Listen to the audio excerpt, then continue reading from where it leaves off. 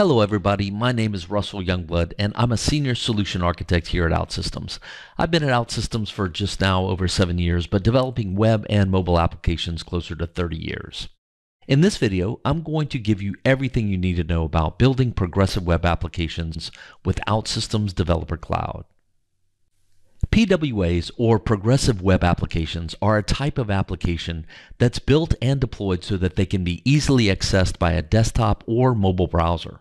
Under the hood, we build PWAs using common web technologies such as HTML, CSS, and JavaScript. So if you're a developer that's familiar with these technologies, then you don't have to learn a new programming language or a new technology stack. Furthermore, with the OutSystems Developer Cloud, you can leverage low code and create one source file for both PWAs and compiled mobile applications. PWAs are very similar to compiled mobile applications that run on the device. One big advantage is that the user doesn't have to download and install them, but there are some limitations in their ability to access device hardware features. However, PWAs can work offline, send push notifications, and access some of the more common device features such as the camera, microphone, and location services.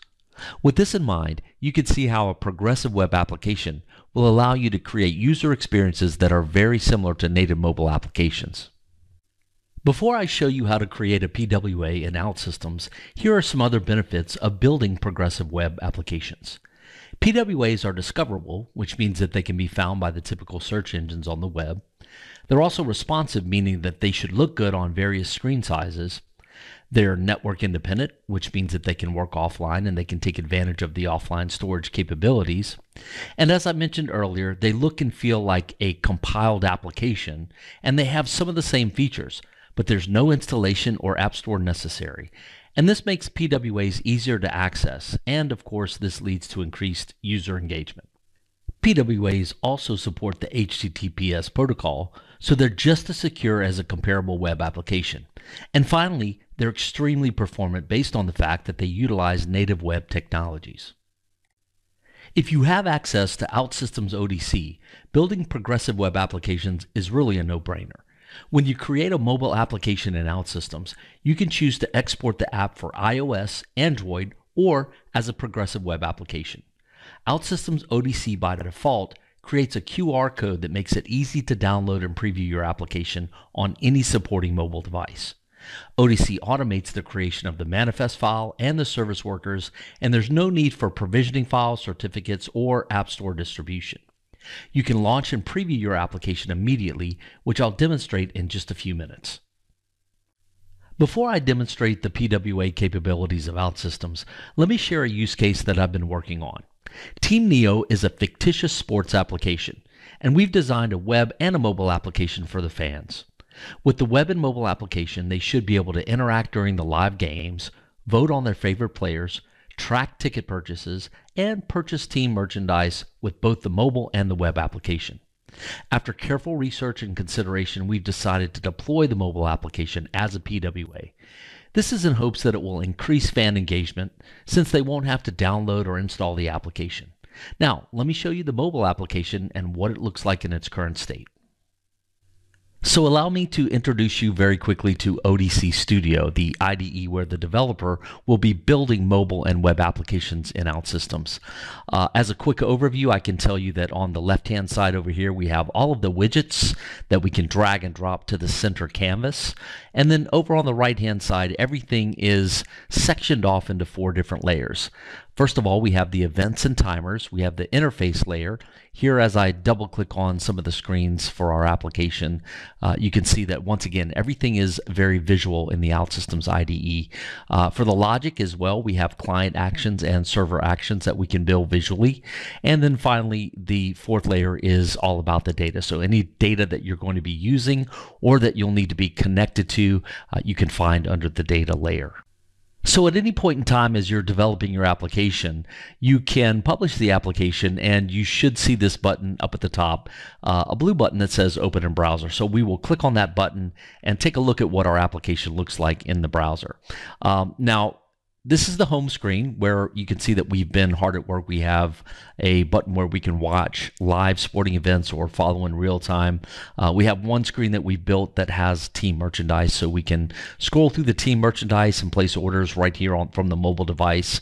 Uh, another screen shows us team players. We can actually vote on the team player of our choice as we're watching live events, and then we can see the results of those votes and then also uh, scores as we're watching or tracking live events. And then finally, we have one screen that has our ticket to get us in the live game. So that's a few screens that we've put together for this mobile application.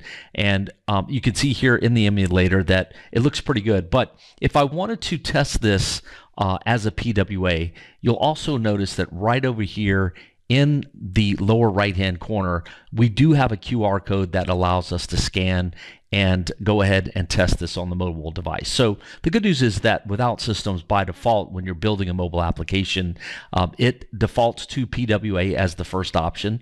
We can scan this QR code, which I'll do so in just a minute.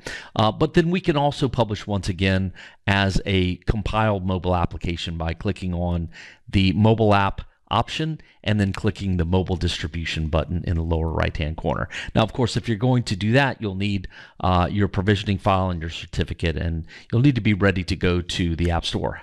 However, that is not the purpose of this demonstration. What we're going to do is actually test this on a mobile device as a progressive web application. So this QR code makes it very, very easy to preview this application on my device. And you can see that I've launched uh, Air Server. I'm going to go ahead and scan the QR code. We can launch the application uh, on our device, and then we can begin uh, very quickly to start to test out the screens that we've created on the device. Now, um, everything looks pretty good we can begin to navigate through the different screens and go ahead and test what we've built on our local device. And things look pretty good. However, we don't really have um, any type of interaction with device capability. So to really test this PWA, what I'd like to do is I'd like to add some functionality uh, so that I can access the camera on my device, and then we'll be able to uh, take pictures of a live sporting event, and those will automatically be uh, updated and then displayed on the home screen. Okay, so before we can add and test that feature, we're going to go back to the ODC portal and I will scroll down to the Forge. I'm going to go to the OutSystems Forge and do a quick search on the camera plugin. You can see here that it uh, rises to the top because I have already downloaded it and installed it so that I can utilize it in my ODC work environment.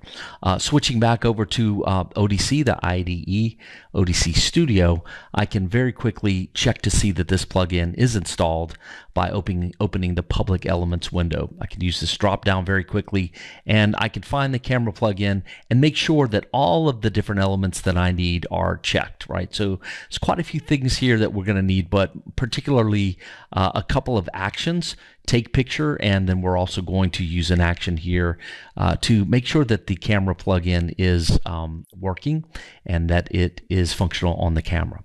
So being sure that I have that I'm going to go ahead and close the window. I can go back over to the logic tab and I can take a look here. We've got uh, a couple of actions here that I just mentioned, right? The check camera plugin and the take picture. So now we can go ahead and start to add what we need to make this work. I'm going to drag an icon uh, from the toolbar up to the upper right of the main screen and then I'll do a quick search for a camera icon so I can find that very quickly um, and then I'll need to go ahead and link that. And I'm going to go ahead and link that to an action that I've already created. That action is named snap on click inactive. So I will go ahead and redirect it to that action. Uh, I'm going to change the name because we are going to build all of the functionality here within this one action. So to finish this up, we'll go to the logic layer and here we can see the camera plugin. Uh, the first object that we're going to drag to the flow is the check camera plugin. Uh, we're going to go ahead and add a condition here to check and make sure that that uh, camera plugin is available, right? So I'm going to need to go ahead and swap the connectors here and make sure that this statement is checking to see if that camera plugin is available. So that looks good. If so, we'll go ahead and continue on with the action. Uh, next, we'll go ahead and drag and drop the take picture object out here to the action flow. And then finally, we need to go ahead and assign a, uh, some some values to a couple of variables. So the first variable will be the actual information that's coming from the camera plugin, right? The media result. We'll go ahead and set the value to that variable. The second variable is simply a Boolean value. I'm going to go ahead and set that to true and that's a little piece of logic that's going to uh, check to see if there is an image and then go ahead and display that on the home screen. So when that is finished, I can go ahead and click the publish button. We will publish the changes that we've made and now we can go back and test the PWA and see if this camera feature is actually working. Okay, now that we've published, we can go ahead and check the QR code again, test this on our mobile device, and you can see there is a camera icon in the upper right. So we'll go ahead and click on that camera icon. We'll test it out, take a photo using our camera with the application, and once we select that photo, it should upload the photo and bring it to the home page of the application. So at this point in time, we know that we have a, a functional progressive web application and it is utilizing some of the native capabilities of the device that we're using, which in this case is an iPhone 16. So hopefully you've enjoyed this video. Uh, if you'd like some more information about OutSystems, just simply go to outsystems.com or send us a line and we'll be happy to answer any questions that you have.